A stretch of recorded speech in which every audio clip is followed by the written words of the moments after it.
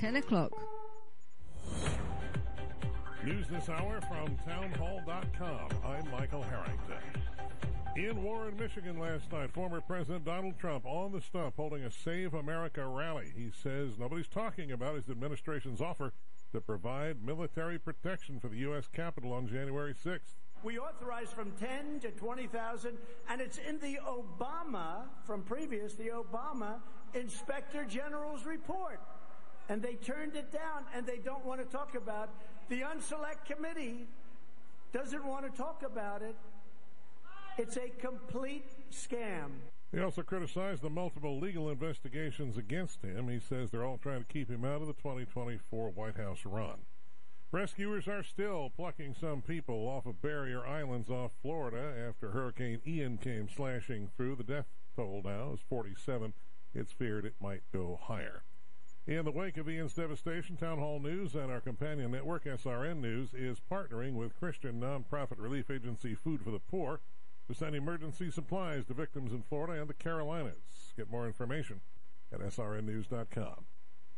The focus will be on the employment picture this week and reports from the government and private sector. We'll find out how the job market fared in September when the government releases last month's employment report on Friday. Prior to that, payroll processor ADP issues its closely watched jobs report Wednesday. Also due this week, updates on the number of job openings and a tally of the number of people who quit their jobs. Reports on construction spending, factory orders, and consumer credit also scheduled for release in the coming week. Rich Thomason reporting. Russia attacked the Ukrainian president's hometown with suicide drones this weekend. Ukraine pushes back with its counteroffensive that has embarrassed the Kremlin. More on these stories at townhall.com. You were lied to when buying a timeshare and worn out, you need my help. Hi, I'm Chuck McDowell, CEO and founder of Wesley Financial Group. Ten years ago, I started the timeshare cancellation industry by exposing the ugly truth about timeshare and giving folks the straight facts. I've been fighting the timeshare giants ever since, so no one knows this industry better than me and my team. Today we have 383 employees and have saved our clients an average of $65,000 in lifetime payments. Imagine putting those timeshare dollars back in your pocket. If you were told at a timeshare presentation that this was available today and today only, that timeshare was a great investment or your maintenance fees will never go up, call my office now. I guarantee if we take you as a client, we will cancel your timeshare or you'll pay nothing. Call now for your free information kit. 800-687-7979. 800-687-7979. 800-687-7979. Amazon is raising its average starting pay for frontline workers from 18 to 19 bucks an hour. That could help it attract more employees in a tight labor market as the holiday season approaches. The company says warehouse and transportation workers will earn between $16 and $26 an hour, depending on their position and location in the U.S. The minimum wage at the Seattle-based e-commerce company, which employed roughly 1.5 million workers as of the end of June, will remain $15 an hour. Correspondent Jeremy House. Iran's parliamentary speaker warning today that protests over the death of a young woman in police custody could destabilize the country. He's urging forces to deal harshly with those he claim endanger public order. The speaker telling lawmakers that unlike current protests, which he says aim to topple the government, previous demonstrations held by teachers and retirees were over important reforms. News and analysis at townhall.com. Police say five fatal shootings in California could be the work of one serial killer. At a news conference on Friday, Stockton Police Chief Stanley McFadden said, by definition, you could probably very well call this serial killings. The investigation is focused on a string of unsolved murders from last summer between July 8th and September 27th. All five shootings involved men between the ages of 21 and 54, and all were shot late at night or early morning when they were alone in areas that lack security cameras. The men were not robbed, and hate crimes have been ruled out. McFadden told residents to be careful walking alone at night and be aware of surroundings at all times. Tasha Stevens reporting. Today is Sunday, October the 2nd, and some notable people are celebrating a birthday today, including movie critic Rex Reed, 84 years old today. Photographer Annie Leibovitz, still snapping away at 73. Talk show host Kelly Ripa is 52. More on these stories at townhall.com. This Atmos Weather Report is being brought to you by Summit Technology Group. Summit Technology Group provides advanced technical solutions to the ever evolving broadcast industry. More information is available online at summittechgroup.com. Your area conditions. Currently 48 degrees in Rome. Here is your WKAL 1450 AM 103.3 FM Utica Rome Metro weather forecast for Sunday, the second day of October. I'm meteorologist Charles Dixon. Mostly clear in Rome, and good morning to listeners in Oneida, where it is currently mostly clear and 48 degrees. Heading down to 33 overnight tonight. Monday's high will be in the low 60s. Plenty of sunshine. Temperatures in the mid 60s on Tuesday. Sunny times of clouds and sun. I'm meteorologist Charles Dixon on 1450 AM 103.3 FM. WKAL more stimulating talk radio. This is Coach Big C, and you're listening to the Mohawk Valley Sports Watch on WKAL 1450.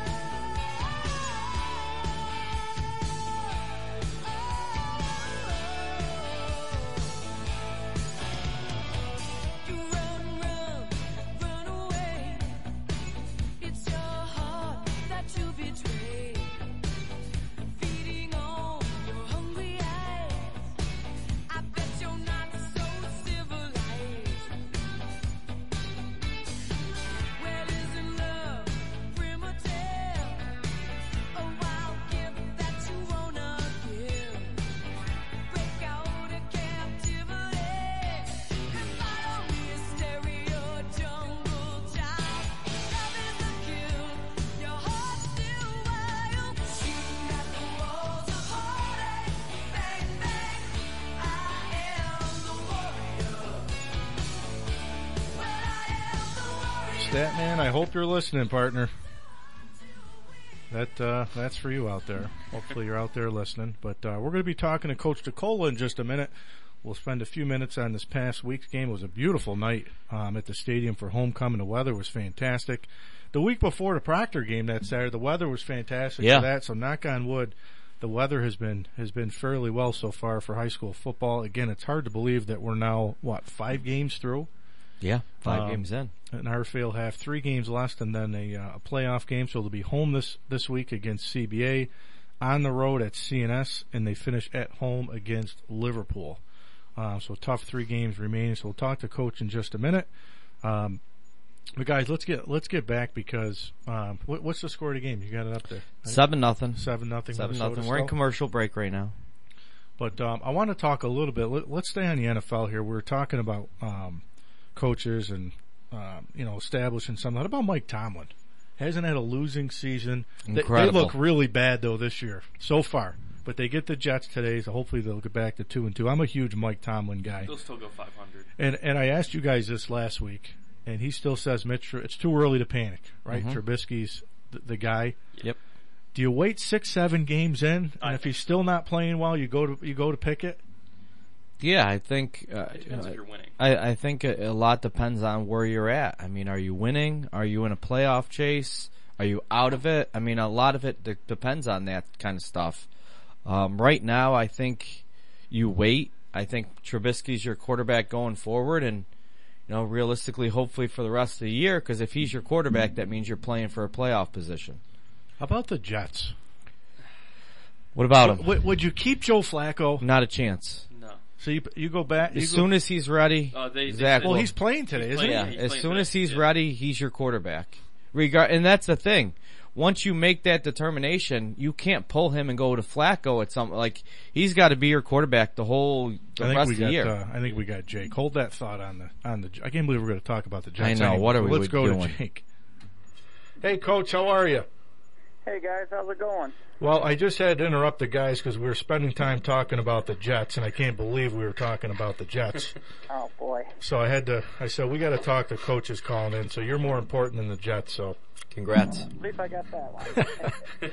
so coach, it was another beautiful night. I don't want to jinx the weather because so far the weather this fall has been fantastic for football. It was another nice night, Friday night, And you know some good things again. I know we keep saying some good things, some bad things, but let's first start talk about some of the positives. Yeah, um, offensively, we kind of got our mojo back where the week before we were a little bit stagnant and didn't get really too much things going. Um, we moved the ball to uh, different playmakers this week, and a lot of guys on the outside. The uh, our freshman Serapia and our other 10th grader uh, Sajine stepped up and made some big plays, along with Jack and LeBron and Evan had a pretty great night. I think he was 23 of 33 with 300 yards.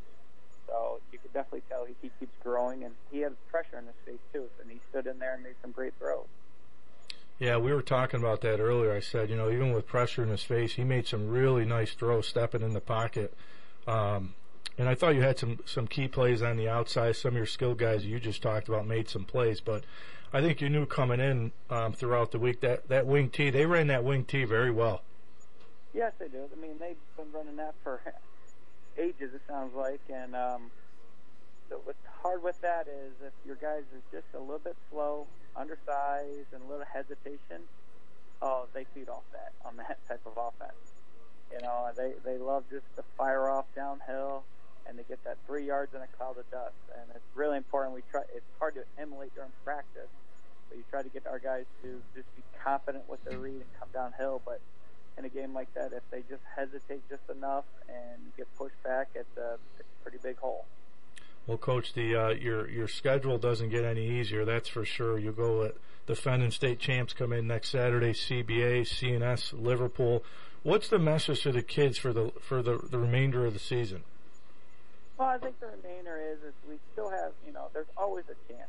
You know, you look a couple of years ago we you know, we shocked CNS when they came in. They were just coming off a Final Four team, and they actually went to the Final Four that year. We beat them, that no one expected, you know, to go our way. So it's just, you know, we got to still work on the basics, play with confidence, kind of get our like on offense, get our mojo back, and just you know play downhill. You got nothing to lose. You know, you can go out there, give it all out, and you can go shock the world. And you see it all the time in college football high school football. Just that one week, a team could be off just enough, and the ball bounces your way, and you're playing lights out that night, and anything could happen.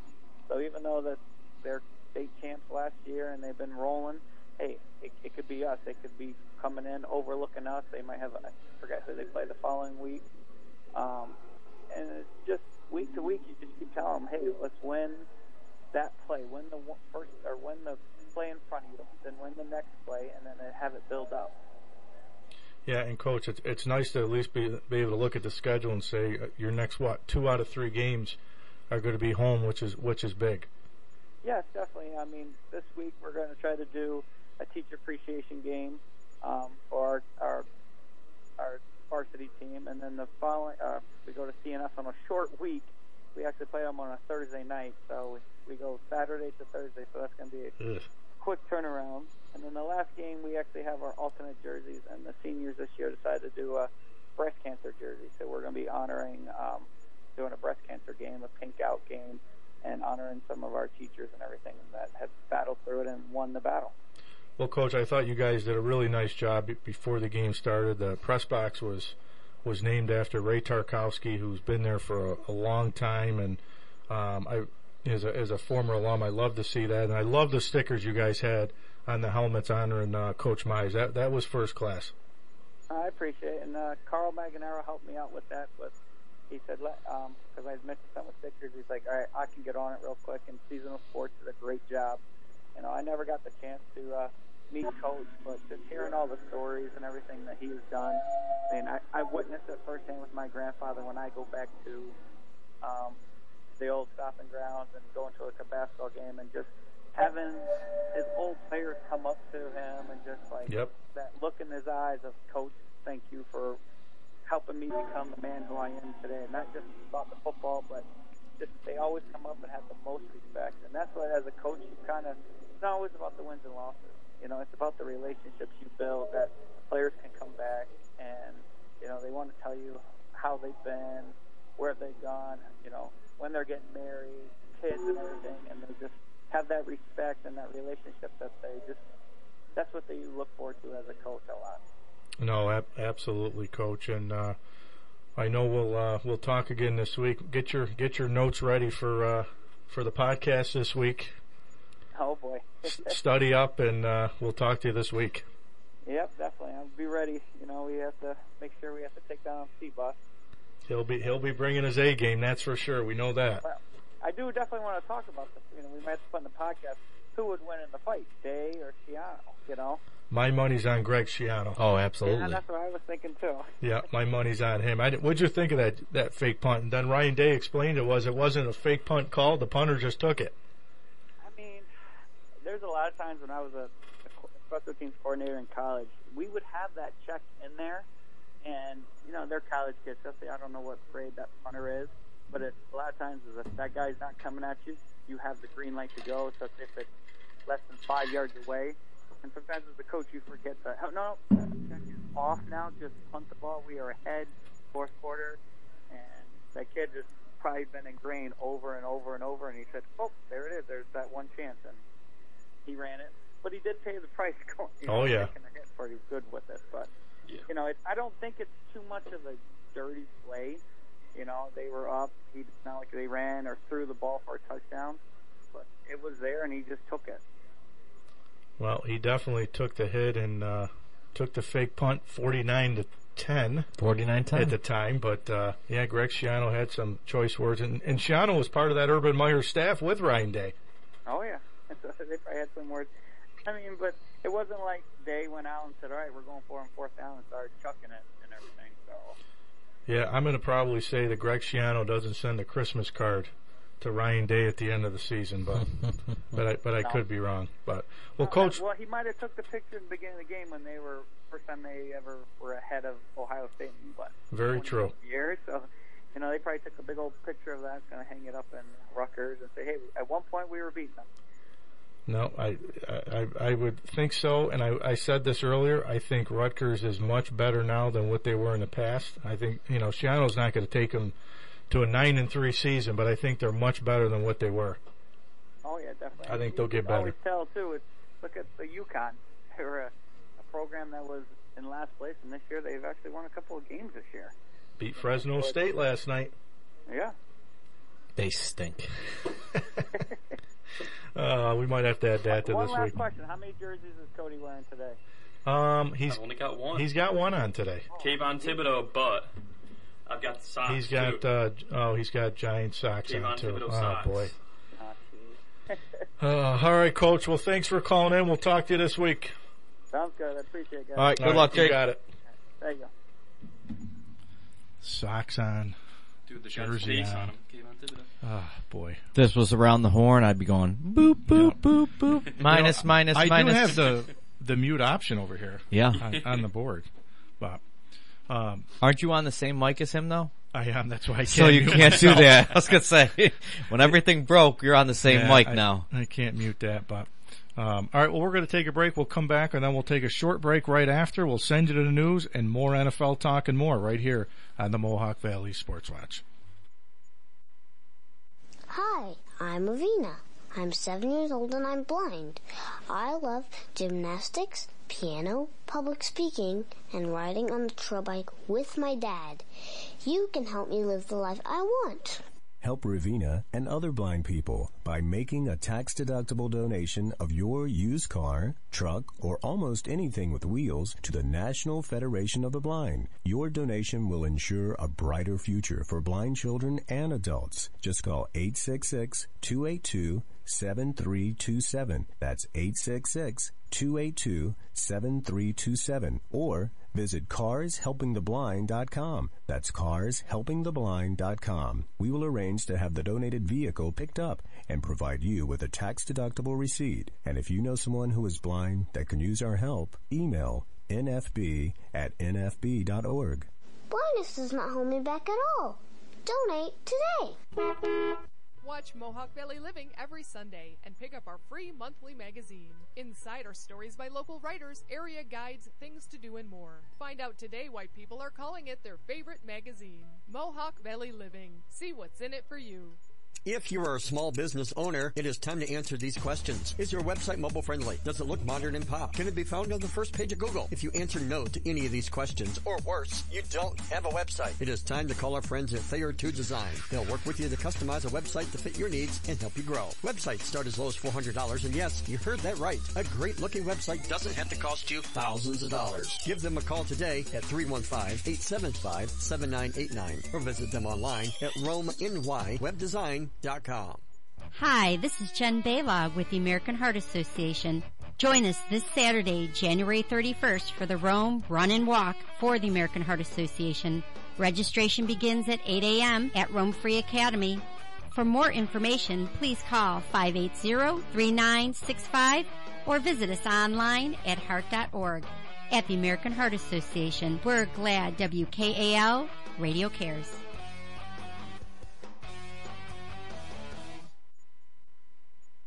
Welcome back to the Mohawk Valley Sports Watch. Thanks for making us part of your Sunday morning here with the crew.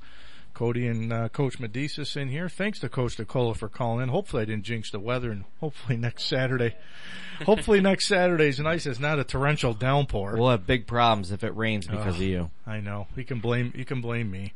Um, so yeah, so we got a few more minutes before we send you the news at the bottom of the hour.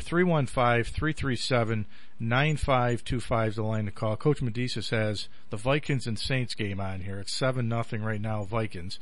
And you guys were talking about Kirk Cousins. Cousins plays well. He just doesn't play well on Sunday night prime time or, Yeah, Monday night or the Monday night game. Thursday night Who's the, uh, is it the Bucks?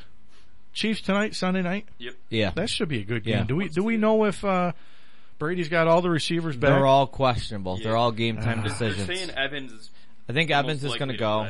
Yeah. Boy, he needs those receivers. He does. They they would have. I think they would have easily beat Green Bay last week if they had those receivers playing. Yeah, well, I'm sure Aaron Rodgers was saying, "Hey, if I had a receiver, if I had Davante back, I, we'd be winning games too." So, on a college note again, Georgia Tech six days after firing their head coach goes in and beats Pitt, and uh, all the talk radio shows that I listen to, everybody's saying, and I think I agree with this, and we'll probably talk about it this week, is the first phone call I make is to The interim head coach. no Who? Prime. No. Yes. I mean, that's take yes, that yes. That well, let me take He's that not back. taking that job. Yes, that is the first fine for phone call I make. in his hometown. I don't think he takes that job though. I don't either. He, he'll he'll be able I to think recruit I, Georgia. I agree. That is the first phone. I I, I, thought I you were think going it's somewhere the, else with this. I think yes. it's the best possible scenario. If I'm Georgia Tech, yes. Oh, hundred percent. I call him up and I say, Deion, who do you want to be the athletic director to come with you? He's not going to get eight nine million dollars. Prime don't need the money. Right. He owns Georgia, and I'm telling you right now, Kirby Smart does not want to see Deion Sanders go Oh. to Georgia Tech. Oh, I agree. I think he'll the the marketing piece. I think he'll get players to go there. He'll win the state of Georgia, and I think being at Jackson State has proved a lot of people that said Deion can't coach. Yep. There's more to what he's doing at Jackson State than just coaching. Yeah. Right. It's it's the other stuff around him. Now give him some NIL money. I think Georgia Tech's a really good fit for Nebraska's not a good fit Not for a nope. I agree. Florida State, Mike Norvell's going to probably survive another year depending on how they finish. Or let's say Florida State falls apart the second half of the season. They finish under 500. If I'm the AD at Florida State and maybe, maybe Deion's waiting for Florida State, I'm calling him up and saying, will you come? Because if you come to Florida State, his son's coming to Florida State with him. Some recruits are going to come to Florida State.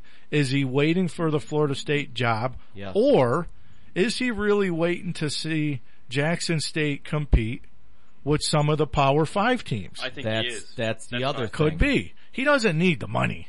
Right. No. But I just think state of Georgia, from Georgia, played for played for Atlanta. He would be king in the state of Georgia. And Kirby Smart, out of all coaches that can get that tech job, if Deion goes there, it's going to be a big swing for the state of Georgia. Oh, I, I, I agree, but I, like I, like you just said, I don't think that's the job he's looking for. Cause at this point, I mean, I think he's just looking for the right job, and if not, you know, he's building the HBCU brand, the the rep of HBCU schools, and trying to give them publicity and get them Mhm. in the in the Mhm. spotlight. So, I think part of it is, you know, this is kind of bigger than just getting that next Yeah. that next D1 FCS FBS job. I think this is about helping, you know, HBCUs as a whole. Yeah, I agree. And, and, and building, you know, you know, I, I don't know if it's the brand is the right word, but building the reputation that hey, this is a viable option to go to school, and more importantly, this is a viable option to graduate and move on to the NFL. Just think about the brand he could build at Georgia Tech. Well, yeah, I just don't think that's the right fit for him. Yes, it's in Atlanta. It, it, it's Oh, I it just makes a lot ideal. of sense, but I just I don't think uh, I I just don't think that's that's the move that he makes. One of the guys, and I think it was because I was listening to um, Dusty Dvoracek and Yep. Danny Kanell on Yeah. uh, Sirius eighty Oh, four. Danny Kanell. Um, my here here's my favorite, and I'm going to say this week on the podcast. Um, I, I listen to Chris Childers and Rick Neuheisel, and the rumor has it Rick Neuheisel is interested to come back into coaching. And if you remember, Rick Neuheisel was at Washington and won games there. He won games at Colorado, um, and then um, he's now obviously doing a radio show. But the rumor has it he wants to come back into coaching. Is there a fit for for Rick Neuheisel somewhere? But one of the guys he was talking to was um, an ACC guy, and I forget who it was that covers the ACC. And he says, "I'm not sold on Deion Sanders yet as a coach. I'm sold on him as, you know, a marketing guy. He he he's he could sell a program. Could he win at a Power Five conference?" And I'm sitting here saying, "Well, why couldn't he?" Right. If you're a good marketer now with with all the NIL stuff, you're a good recruiter. If he can get kids to go play at Jackson State, and remember, he said, "Give me one or two more years to get some depth," because he's got the skill kids that are probably as good as any any team in the country. Mm-hmm. Yeah. I, I I think that if he stays over the next two or three years at Jackson State for all the reasons Nick that you just said, I think he wants to prove that they can beat anybody. I'm interested to see what kind of push he's making because I think, I think like you said, in a year or two, I would not be surprised to see him schedule a bunch of FBS Oh, yeah. and try to make a push to see if he can, you know, get in the top 25, get some votes, kind of like Appalachian State did Yep. years ago, kind of like you know those FC S teams come in and they win, and then all of a sudden they're in the polls, and they're and they're trying to, you know, show that they can play at that level. I would not be surprised if that's Deion's next move, but at the same time, if Mike Norvell struggles at Florida State, you know, I I, I know that's the phone call at Georgia Tech, but I don't know how Deion says, "Hey, I became prime Oh, yeah, in. Tallahassee." So Coach Prime to Tallahassee, and it's not only the it's it's it's the marketing, but it's also Deion's a smart guy. Deion understands that you're only as good as your staff, and the staff that he has at Jackson State rivals a lot of the Oh, yeah. top programs across the country. I mean, now call me crazy, but like in Division One football, I've seen it with other coaches, and I'm going to use Mario Cristobal as an example. If you get recruits and you are able to get a good coaching staff, I don't think he's a great coach, Mario Cristobal. But you get great players and a great staff around you, you're going to win games. That's just how it is. Oh yeah, I, I don't disagree with that, uh, except for they got Josh Gattis from Michigan, and the offense looks Yeah, terrible. terrible right now for Miami. Terrible. But but but that's exactly it. And and I'll say this about college football is if you are a good recruiter and you can get good talent and you can surround yourself with good coaches. Now I think I'll give a lot of props to Deion for this is his assistant coaches are not making a lot of money. Right. They all went there for a reason. Mm-hmm. Um, to be to be part of that, and I and I'll say this is I follow Deion and Jackson State on all the social media sites. If you just see what he's doing on these social media sites, you don't see these other teams doing what he's doing on there. And I'll tell you what, his son's pretty good. His his son is very good. I love to see his son play uh, for a Power Five to see what he can do. He said, "How come you're not talking about our quarterback here for, you know, the Heisman the Heisman Trophy uh, and so forth?" So it'll be interesting. But when the guy said to Deion, he's not sold on Deion as a coach, you're crazy. He's he's not. But I'm telling you, I think I think if I'm Georgia Tech, I, I come calling. I pick the phone up. I call him and say, "Who do you want as your athletic director? How much is going to is it going to cost us to get you and bring who you want in here? I think it's a perfect fit for Deion. So keep it locked here when we come back. Aaron Judge still chasing history. He's a part of history, but Yes. he's still chasing 62. He We'll talk, today. we'll talk about Aaron Judge and more right after the break. Stay tuned. We'll be right back. Talk Radio 1450. With SRN News, I'm Michael Harrington in Washington. More than 120 million Brazilians voting today in a highly polarized presidential election that could determine if the country returns a leftist to the helm of the world's fourth largest democracy or keeps the incumbent in office for another four years. The race pits conservative President Jair Bolsonaro against his political nemesis, leftist former President Luiz Inácio Lula da Silva. Authorities in Denmark say the Nord 1 Stream natural gas pipeline has stopped leaking.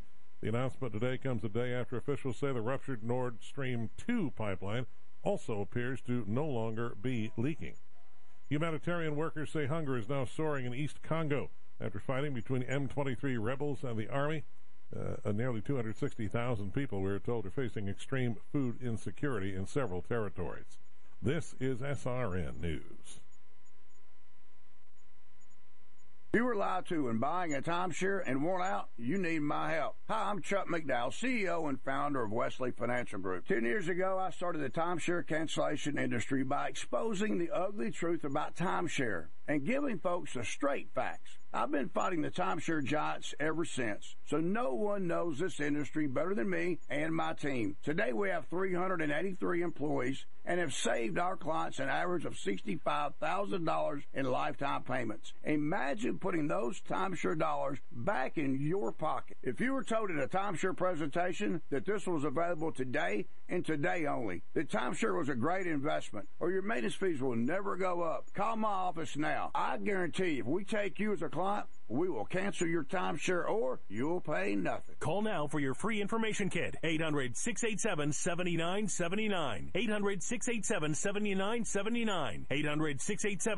7979. 800 687 7979. 800 687 7979. The current temperature, 54 degrees. SRN Sports, I'm Ron DeRockstra, Dansby Swanson, and Matt Olson. Homeward off Max Scherzer lifting the Braves to a crucial 4-2 win over the Mets and a one-game lead in the NL East. The defending World Series champions beat aces Jacob DeGrom and Scherzer on consecutive nights to take their biggest lead of the season in the division. Meanwhile, Phillies Nationals split a day-night doubleheader. The Nationals rout the Phillies 3 uh, 13-4 in the day game and lost the nightcap 8-2. Diamondbacks, meanwhile, eliminate the Giants from postseason contention 8-4. Sergio Alcantara had a pair of two-run doubles, and Christian Walker finished a homer shy of hitting for the cycle. Albert Pujols hit a two-run single. Corey Dickerson had a grand slam in a six-run first inning to help the National League champion St. Louis Cardinals beat the Pittsburgh Pirates 13-3. This is SRN Sports. College football number one Georgia had to come from behind to beat Missouri 26-22. Bryce Young got knocked out of the game with a shoulder injury in the second quarter, but second-ranked Alabama went to their backups and beat Arkansas 49-26. Ohio State routes Rutgers 49-10. Miyan Williams carried the load for the Buckeyes, rushing for a career high 189 yards and five touchdowns. Fourth ranked Michigan scores on four of their first five drives, beat Iowa 27 14. Clemson 30 20 over NC State. Southern Cal beats Arizona State 42 25. Mississippi held off Kentucky 22 19.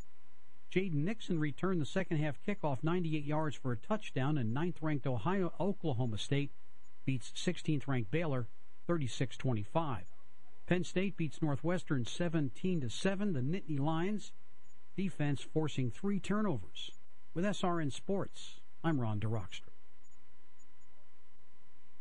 This Atmos weather report is being brought to you by Summit Technology Group. Summit Technology Group provides advanced technical solutions to the ever evolving broadcast industry. More information is available online at summittechgroup.com. Your area conditions. Currently 48 degrees in Rome. Here is your WKAL 1450 AM 103.3 FM Utica Rome Metro weather forecast for Sunday, the second day of October. I'm meteorologist Charles Dixon. Mostly clear in Rome, and good morning to listeners in Oneida. where it is currently mostly clear and 48 degrees. Getting down to 33 overnight tonight. Monday's high will be in the low 60s. Plenty of sunshine. Temperatures in the mid 60s on Tuesday. Sunny times of clouds and sun. I'm meteorologist Charles Dixon on 1450 AM 103.3 FM. WKAL more stimulating talk radio. This is Coach Big C, and you're listening to the Mohawk Valley Sports Watch on WKAL 1450. What the rock is cooking.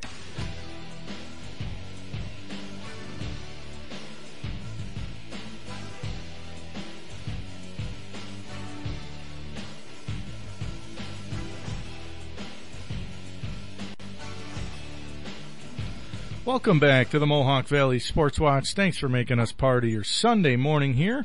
Cody and Coach Medisas in here. We'll bring you the last half hour of the show. I got to give a shout out to my uncle Paul 80, who uh, longtime coach at Hamilton College. Yesterday had the scoreboard named after him. So I don't know if Uncle Paul is out there listening, but uh, congratulations, Uncle Paul. Well deserved. Um, they named the scoreboard after him. Long time um, coach there at Hamilton College. So congratulations uh, to Coach uh, and my uncle as well. And uh, guys, let's get back into uh, well, I say let's get back in the NFL, but I want to just talk Aaron Judge for just a little bit as he chases uh, to break history. He's part of history now. He hit 61. They'll play today at at 135 against Baltimore. And uh, I, th- I think we all could probably say when we if we've watched him over the last 10 or 15 days during this chase, obviously the pressure you you could tell is he's got it written all over him, but the swing's a little bit different now. It seems like he's got a little bit more uppercut swing to try to hit it out of the hit it out of the park.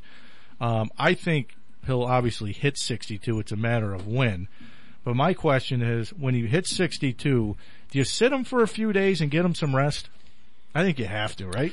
I absolutely think you have to. No. And I and I think and I think you you make a great point about the swing. I mean, you also got right now he's got one thing on his mind. He's got to hit number 62. Yeah. So he's Yeah. trying every pitch to hit a home run.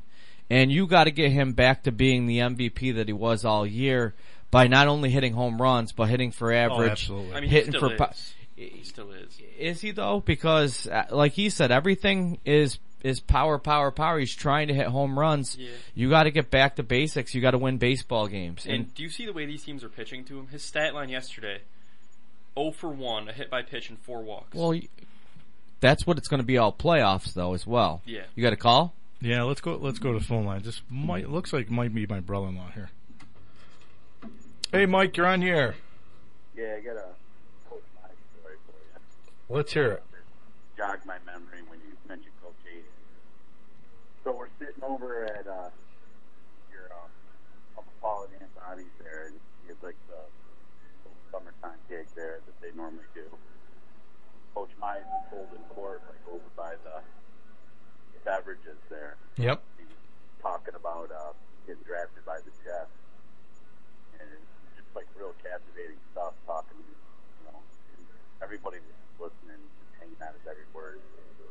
Speaking about being you know, 13th round pick and you know, the 1344th pick, and you know, kind of crushing guys like Weeb Ewbank come in and tell him, "Hey, Rome," because I, I remember that you called him Rome.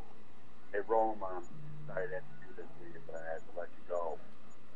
You know, like, you know, I didn't hang my head or anything like that, but it was really cool when he talked about that and you know, missed opportunities, you know, but able to, like, you know, go on with the Jets that season and be able to see them win the Super Bowl that year. So it was just really cool story that telling.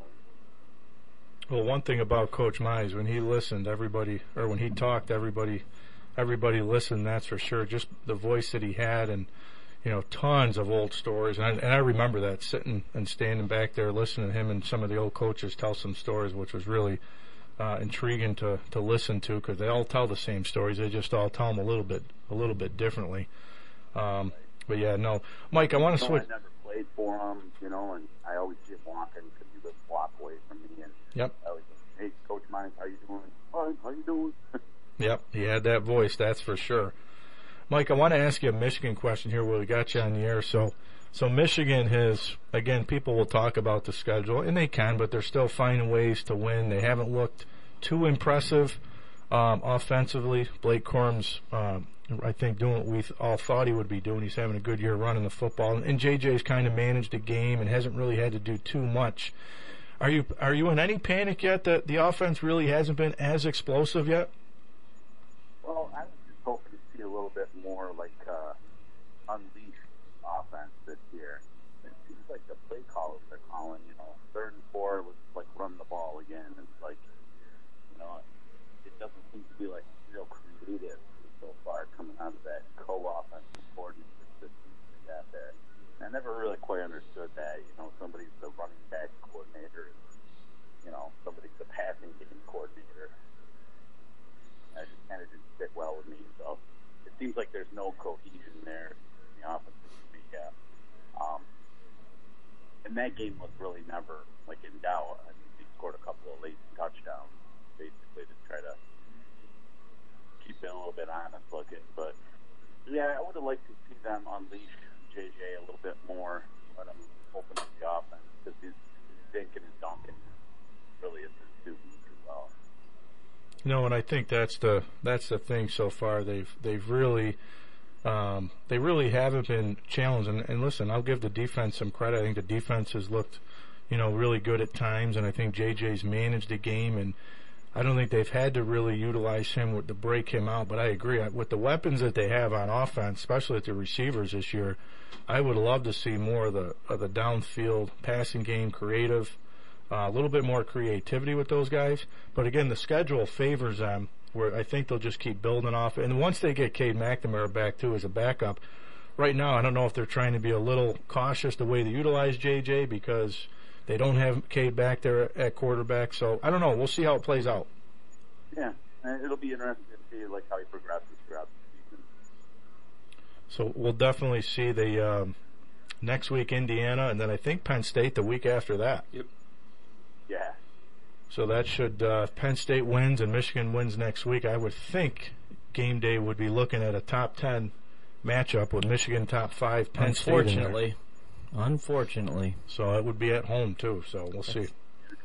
Syracuse NC State. Yeah. Yeah. Not happening. Not happening. Well, Mike, we appreciate the call, and I'll uh, we'll catch you later. I'm sure.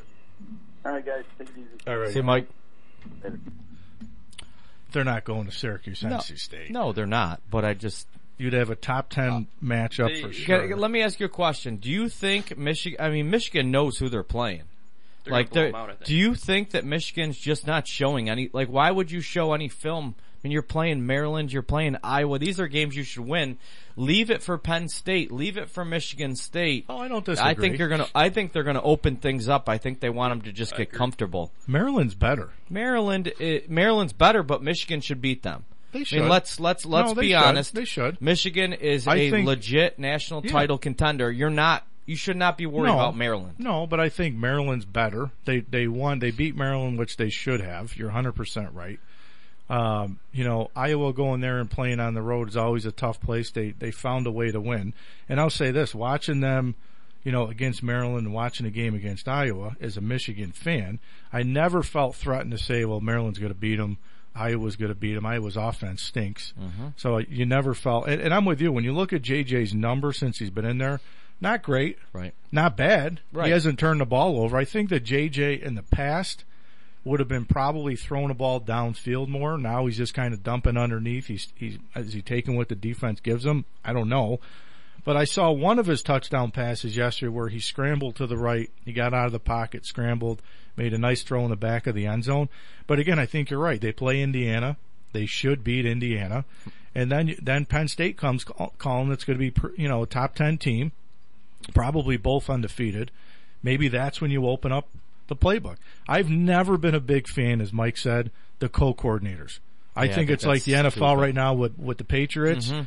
Who's calling plays? You Right. can't have a run. Ga- I mean, it's like I'm just picturing this as a coach. I'm on the headset and I'm saying, okay, um, It's third and one. Mike, who's the run game Yeah. for? Mike, what do you got for the next run play? Oh, hold on, Nick, what do you got? We're going to pass it. Give me a pass. Right. Like, how does that work? Wait, I want to run the ball. I got a great Yeah. run play set. Like it's just Yeah. yeah, no. So I, I think coaches do that. Um, you know, whether it's to try to get a coach a little bit more money to get, to get him a Mhm. coordinator title. Yes. Um, I'm not sure, but I would imagine both guys got more money to be coordinators, and maybe Harbaugh didn't want to decide on one. I've never been a big fan of it.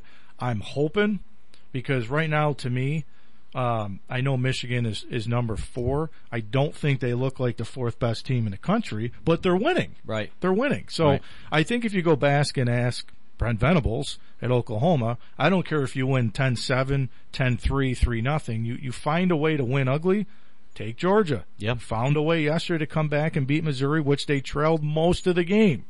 So I think a win's a win, but I think you're right. I think when they get to Penn State, I think you'll see, I think you'll see 'em the open offense up. open up a little bit. They might have one of the best wide receiving cores in the country this year, and they really haven't utilized all that.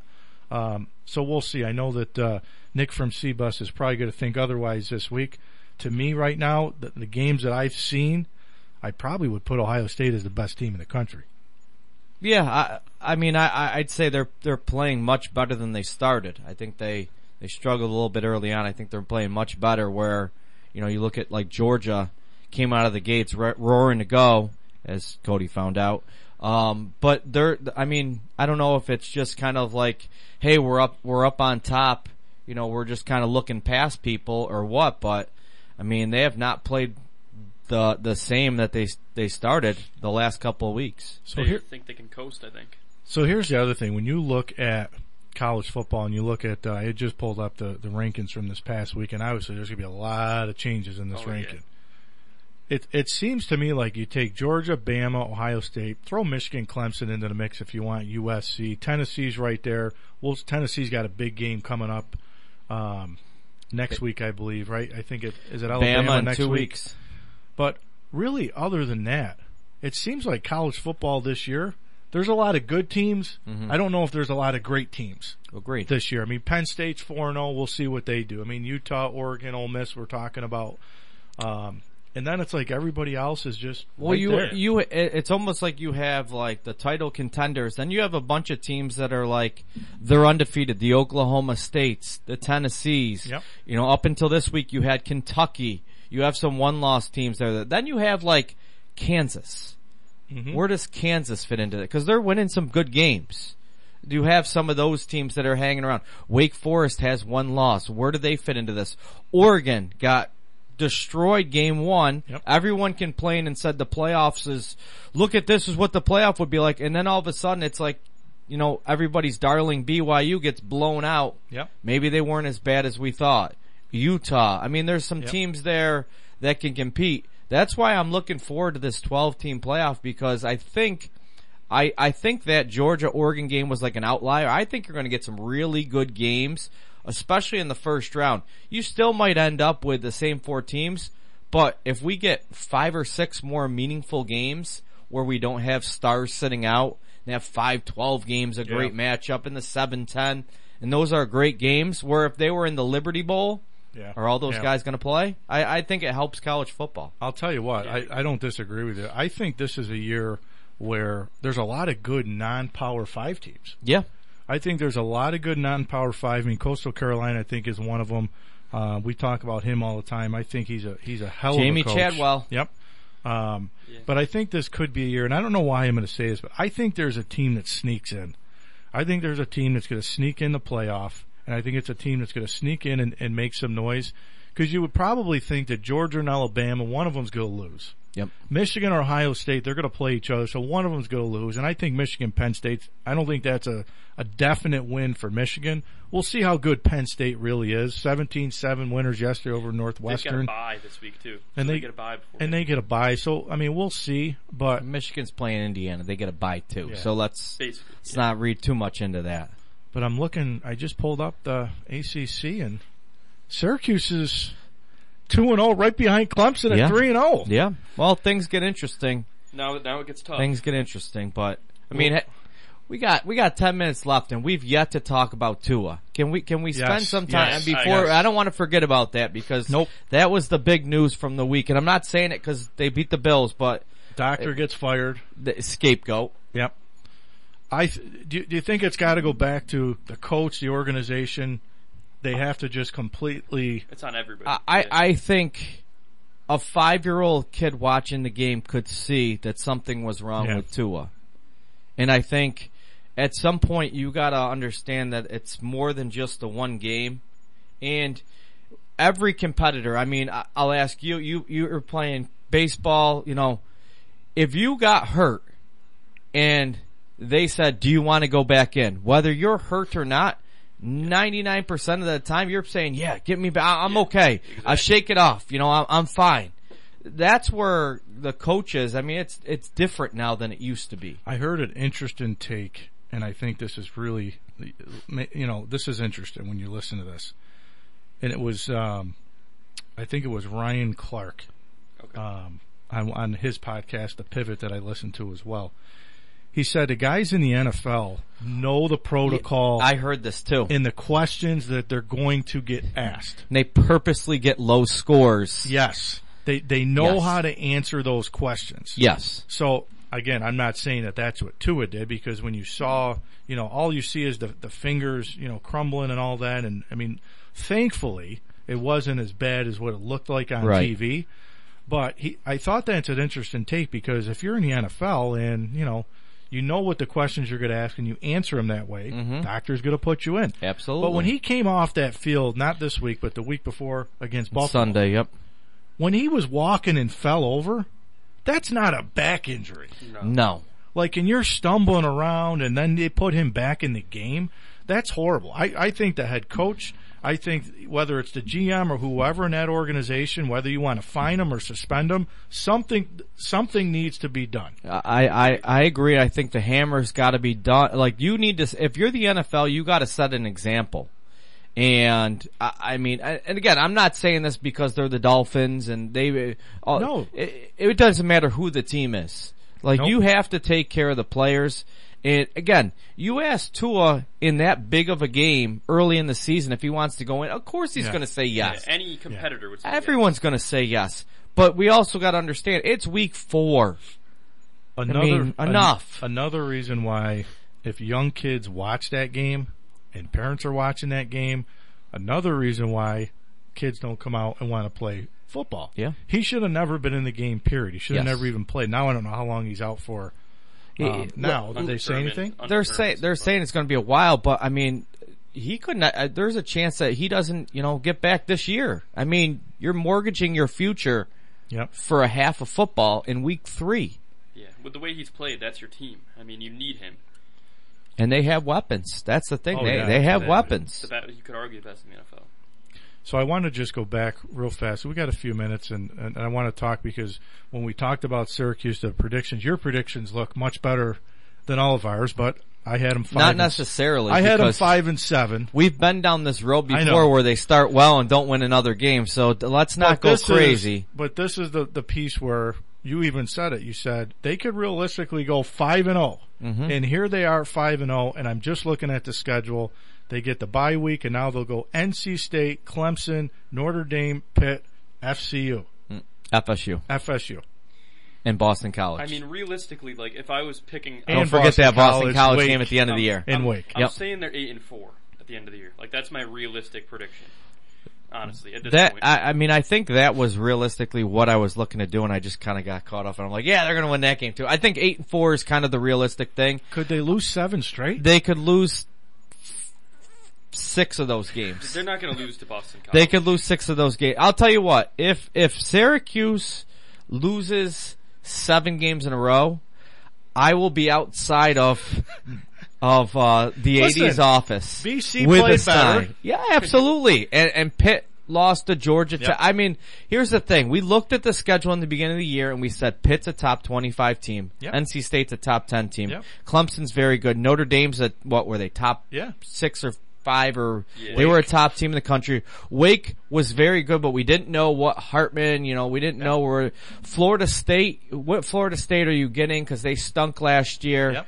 You know, it was, I- I think you, you look at the schedule now and you're saying, all right, NC State's a top 10 team, probably going to drop to Yep. 15 or so.